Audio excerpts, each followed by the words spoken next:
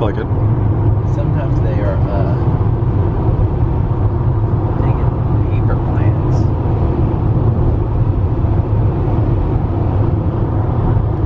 Definitely cooling towers. There's four of them. Wow.